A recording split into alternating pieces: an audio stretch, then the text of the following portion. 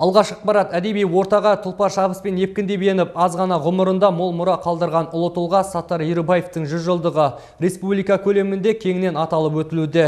Кеше осы шара аясында қаламыздағы тарихи мәдени орталықта тақырыпты көшпелі көрменің ашылу рәсімі болды. Толығырақ келесі бейнематериалда. Белгілі қаламгер, прозашы, публицист Саттар Асқарұлы Ерубаевтың жүз жылдық мерейтойына арналған шаралар еліміздің түкпір-түкпірінде аталып өтуде. Кеше қаламыздағы тарихи мәдени орталықта тарихтың көне тамыры саналатын келі отырардан келген көшпелі көрменің ашылу салтанаты болды. Отырар руханияты аталатын мұражай әкелген көрме Саттар Ерубаев жайлы бұрын еш жерде жарияланбаған деректерді ұсынды. социалист қазақстан қазір егемен қазақстаннан бастап жас дейін жас газеті аудандық газеттер біздің мына отырар ауданында социалистік шабылдыр газетін білесіздер.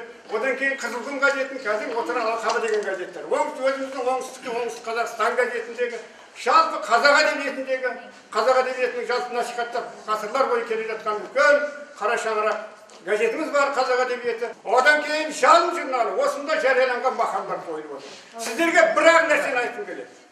Әке, сіз бұрын жарияладыңыз білем саттардың отызыншы жылы түскен суреті өзі қолымен ұстап өзі көріп ағайындарына мен енді білдім ма кім біледі жас кетті ғой айналайын жиырма үш жасында ауырып жүрген кезінде ол отырарға соңғы рет келіп балтабай тебеұлы деген ақын болған мен шығармаларымыздың музей жариялады оны толық жинаған шығарды енді қазір оңтүстікке жіберіп жатырмыз соған келіп ағасы ғой енді көке мені еске алып жүрерсіз деп бір суретін сыйлап кеткен екен мен енді ол кісінің қолжазбасын алып музейдің ғылыми жинастыру жұмысы бойынша алып үш жыл аудартып басып шығардық қой сонда сол қолжазбасын араб қарпімен жазылған қолжазба соның арасынан шыққан сурет мен сіздерге көрсетейін деп алып келдім бір ғана жәдігерді айтайын Көрмеге қойылған дүниелердің арасында саттар жайлы беймәлім жазба, фото деректердің болуы, көрменің ғылыми тәжірибелік маңызын аша түсті.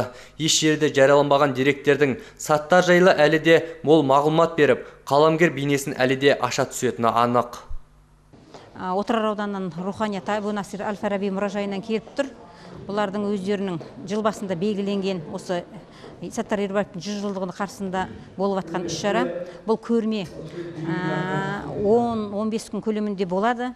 Мына қаладағы білім басқармасымен мына хат жазып ертеңнен бастап алла қаласа осы орталыққа оқушылар келіп осы көрмемен танысады деген үміттеміз.